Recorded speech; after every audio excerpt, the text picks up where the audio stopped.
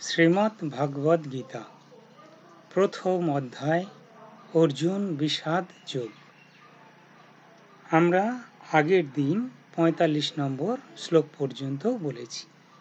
আজকের আমরা ছচল্লিশ নম্বর শ্লোক থেকে শুরু করছি। কি পরিস্থিতিতে আমরা আছি, সেটা সম্বন্ধে একটু জানি। ধর্মক্ষেত্র, কুরুক্ষেত্র। সেই কুরুক্ষেত্রের মাঠে উভয় পক্ষের সৈন্যবাহিনী উভয় দিকে দণ্ডায়মান। একদিকে কৌরব, অপরদিকে পাণ্ডব পক্ষ। মাঝে রথের উপর অবস্থান করছেন স্বয়ং ভগবান শ্রীকৃষ্ণ এবং মহাবীর অর্জুন। মহাবীর অর্জুন এই ধর্মক্ষেত্র, কুরুক্ষেত্রে যুদ্ধ করতে চান না। তিনি কেন যুদ্ধ করতে চান না? তার পক্ষে তিনি যুক্তি দেখিয়ে যাচ্ছেন। এই যুক্তিগুলো বা এই কথাগুলো শুনছেন স্বয়ং ভগবান শ্রীকৃষ্ণ। আমরা ছচল্লিশ নম্বর শ্লোকটা পড়ছি। যদি মামাম প্রতিকারম अशस्त्रं शस्त्रोपानयः।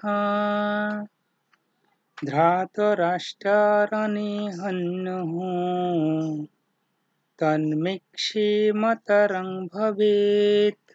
आरोग्य वा यदि मामाप्रतीकारम् अशस्त्रं शस्त्रपानयः। শাস্ত্রপানয় ध्रातराष्ट्रारणेहन्युः তন্মেক্ষেমতরং ভবেত যদি আমাকে অস্ত্ররহিত ও প্রতিকারহীন অবস্থায় দেখে অস্ত্র সজ্জিত ধৃতরাষ্ট্রের পুত্ররা বধ করেন তবে সেই মৃত্যুও আমার পক্ষে কল্যাণজনক হবে। মহাবীর অর্জুন বলছেন, যদি আমাকে অস্ত্রহীন দেখে বা প্রতিকারহীন দেখে ধৃতরাষ্ট্রের পুত্রগণ যারা যুদ্ধ সজ্জায় সজ্জিত আছেন, তারা যদি আমাকে বধ করেন, তবে তার ফলে যে মৃত্যু আমার, সেই মৃত্যু হবে আমার পক্ষে কল্যাণকর। তবুও আমি যুদ্ধ করতে চাই না। তিনি বলছেন কি, আমি যুদ্ধ করতে চাই না।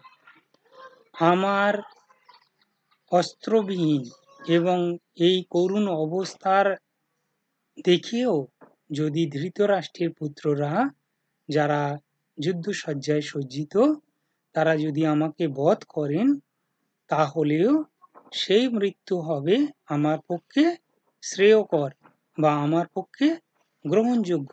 তবুও আমি যুদ্ধ করতে চাই না। ইংলিশটা পড়ব।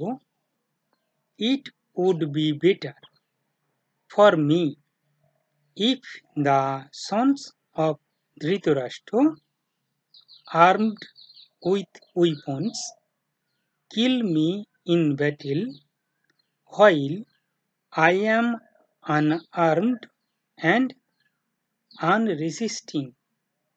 আরও একবার it would be better for me if the sons of Dhritarashtra armed with weapons kill me in battle while I am unarmed and unresisting. সবাই ভালো থাকবেন, সুস্থ থাকবেন। পরবর্তী দিনে পরবর্তী শ্লোক নিয়ে আলোচনা করব। ধন্যবাদ।